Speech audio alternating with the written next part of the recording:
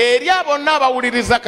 to everyone that listens to god ayogera continuously they know that god speaks continuously and whatever he tells them is fulfilled